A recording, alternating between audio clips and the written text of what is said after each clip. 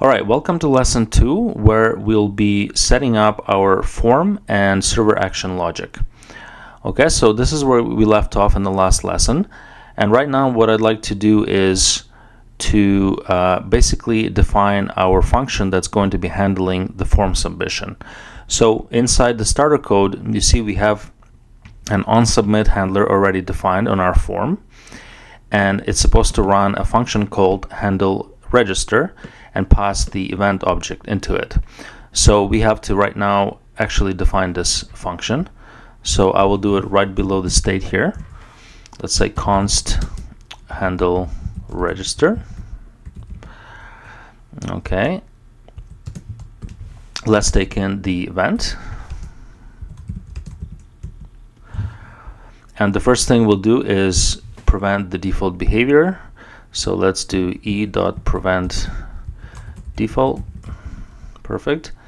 So now let's just try console logging the values inside our form fields. Now to do that I will be using the form data object in, uh, that's available in JavaScript. Uh, you could also create separate states for each input field, but I just um, prefer to go with the form data object. So, so let's go ahead and define a variable called form data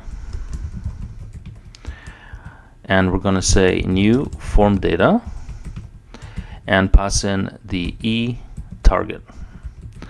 So what this is going to do is create an object where the keys are going to be the uh, whatever is in the name attributes of our form. So for example in here you can see we have full name in the name attribute and then for the phone we have a phone etc etc okay so let's actually extract these so we can console log them. So I'm going to say const full name equals to form data get.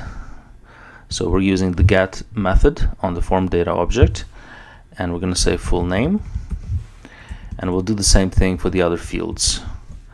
So this one is going to be phone. Okay, and then this one is going to be email and finally the number of spots. So I believe I called that num spots. Or it could just have been spots. Let's just check here. Oh it's just called oh yeah num spots. That's what it is. Okay perfect. So that's looking good. And now let's just console log this. So I'm gonna say console log logging form fields and let's just list them. So full name, phone, email, and num spots. Okay, let's go back.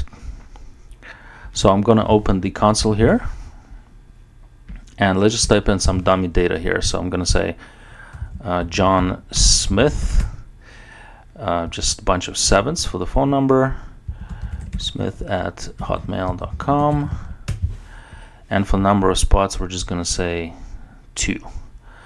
Let's click register. And there we go. We can see this data here. We have our John Smith the name. We have the phone number. We have the email and the number of spots. So that's working well. Good.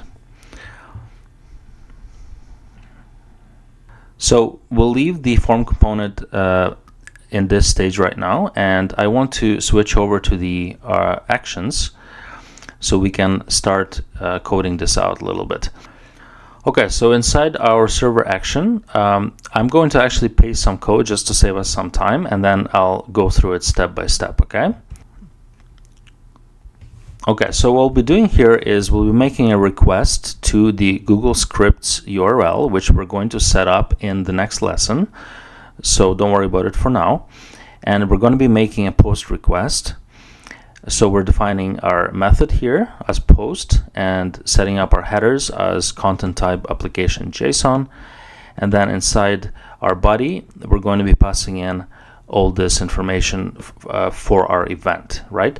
Now I am hard coding the um, event field here just because um, you know we are the website is set up for just one type of event, which is the pottery workshop. So it's fine to do this. And then we will be getting the rest of our information dynamically from our registration form and passing it uh, here. Okay. So next, below this, if there is a some kind of a problem adding our form data to the Google Sheet, we're going to throw an error with this message. Uh, the message actually is not really that important because the user is not going to see it. This is just for ourselves for now. Um, and if the uh, process is successful, so if the form data is added to the Google Sheet, we will be returning this message to the user saying success, you have been successfully registered for our pottery workshop. And if there is any kind of error, including this error, uh, we will be just returning one standard error message saying, oops, there was a problem with your registration. Okay. So that's how this code is structured. I hope it makes sense. Now let's just complete it because we do have several more things that are missing here. First of all, the Google script URL, currently we don't have that defined anywhere. So for now, let's just um, define it at the top here. So we're going to say Google script URL and we're going to make it an empty string for now. Okay. As I said, we will get this in the next lesson. Um, next thing we need to do is we need to take in the form data from our client, so from our registration form. So let's say here form data, and we have to just extract um, each value from each of our form fields, right? So remember, we have uh, full name first of all, so we're going to say const full name, and then basically we'll do what we did here. We can actually cut this code from here because we won't be doing it uh, here. So just cut that and paste in here. Perfect. So we're getting all of this data and then later on we're passing it in here.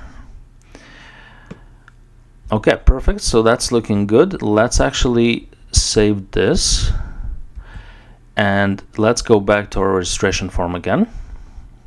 So let's just complete our code for the handle register function. So again, I'm going to paste some code in here and then uh, explain it step by step.